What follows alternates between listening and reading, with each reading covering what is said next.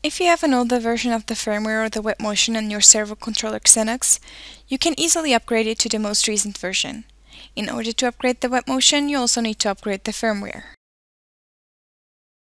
Before the upgrade, it is important that you deactivate the button Keep temporary files on my computer in the setting of your Java. Otherwise, it could happen that Java reads the old version in the cache memory.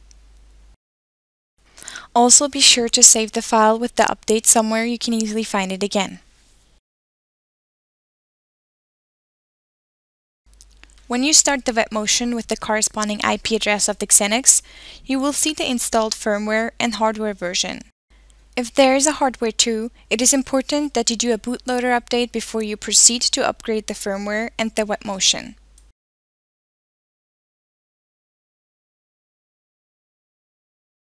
If there is hardware 3 or higher, you won't need to run a bootloader update. You can directly proceed to the firmware update. The firmware for the update is also in the file that was previously saved and has the ending MOT.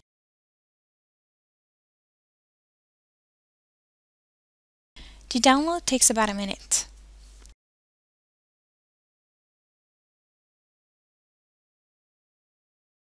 After completion, close the WebMotion. In order to update WebMotion, you need the device installer. You can download and choose the Lantronix device installer under www.lantronix.com. When opened, the device installer shows all registered devices.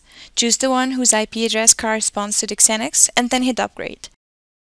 The file with the ending .lxi can also be found in the file previously saved.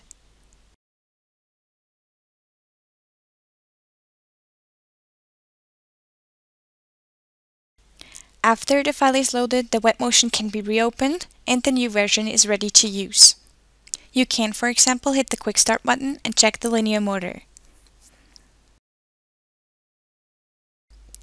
Once more you see how easy the handling of our product is.